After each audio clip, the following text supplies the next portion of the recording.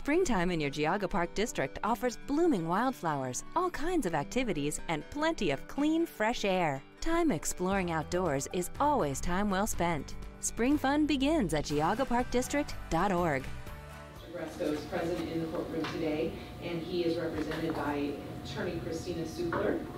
Um, Mr. James Flaiz, the Geauga County Prosecutor, is here on behalf of the state of Ohio.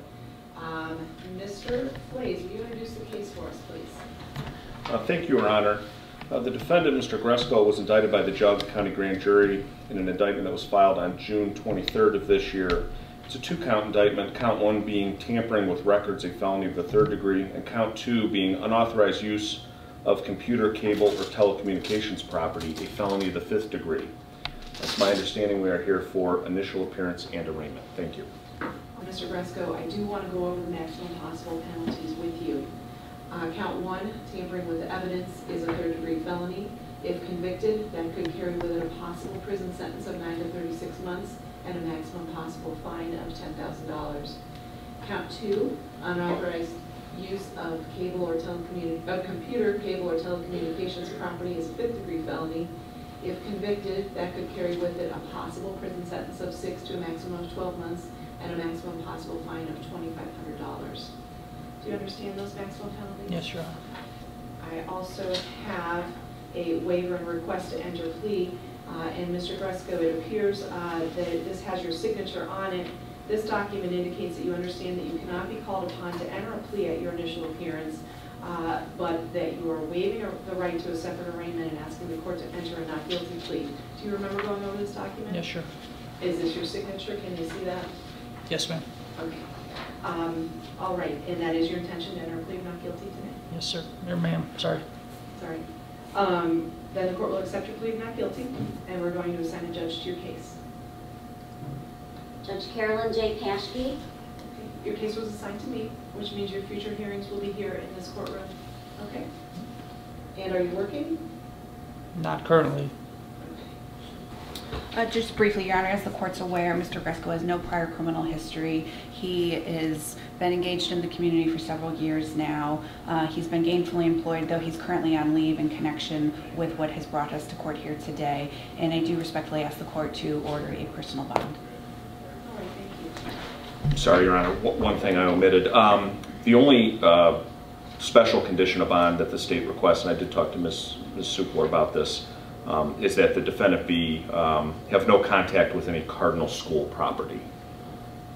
It's my understanding through um, employment action, he's already been notified that he can't be on school property, but uh, the state would like it as a condition of bond.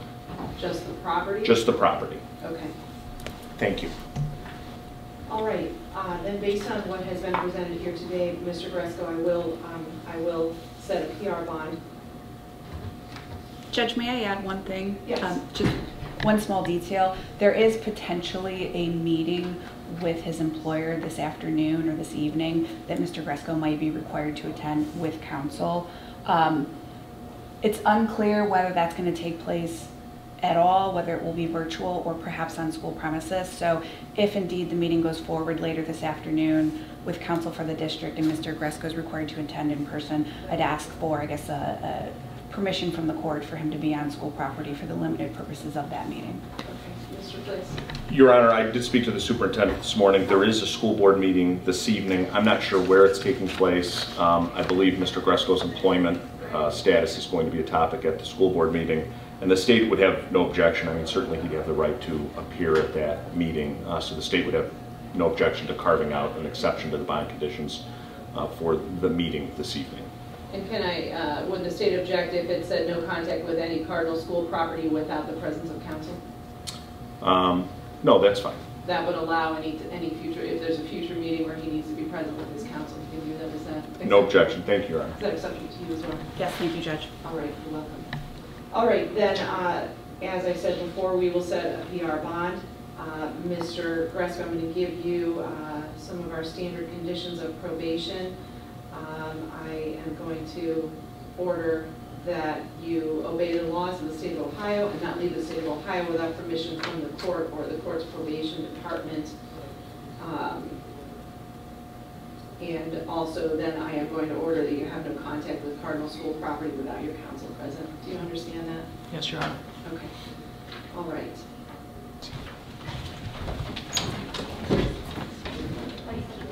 Yes, thank you. Veneer's office, we work together like a team. Every role down here, a person has the opportunity to lead in their own position. No matter what your title is, we are all an important part of the process. Everybody's trying to help one another, and it's just a, a great camaraderie among the team members.